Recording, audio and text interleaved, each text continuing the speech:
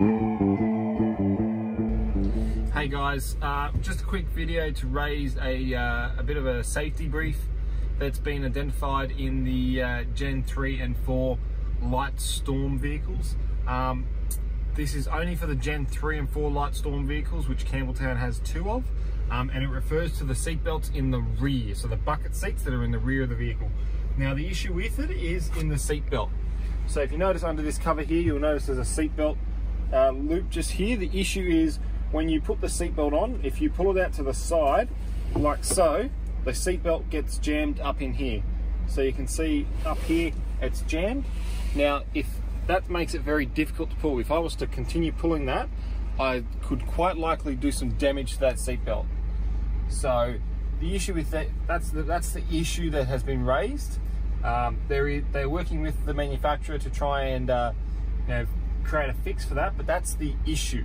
The way to fix that, if, the, if it is like, if you do find the seatbelt like this, um, gently feed it out and pull it back across if you can.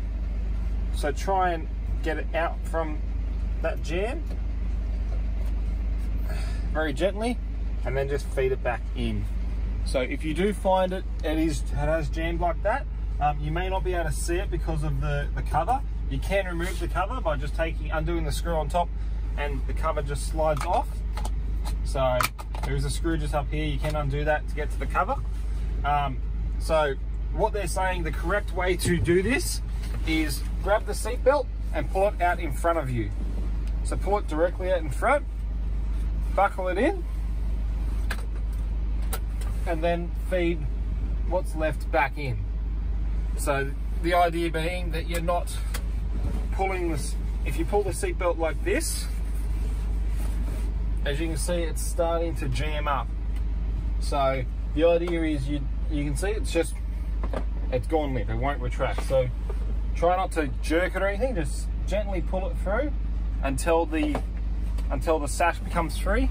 And then pull, so the best bit is pull it forwards in front of you until you've got enough then just hold the seatbelt whilst you uh, click it in and then be careful to, to feed it back in gently.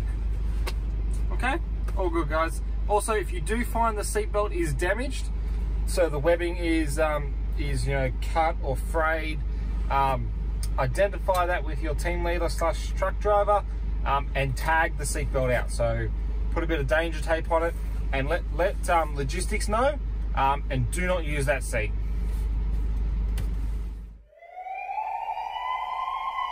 Mm-hmm.